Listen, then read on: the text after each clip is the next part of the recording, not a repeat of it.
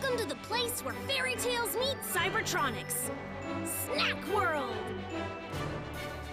A place filled with everything we dream about. Epic battles, dragons, magical creatures, smart gadgets, and all kinds of cool stuff.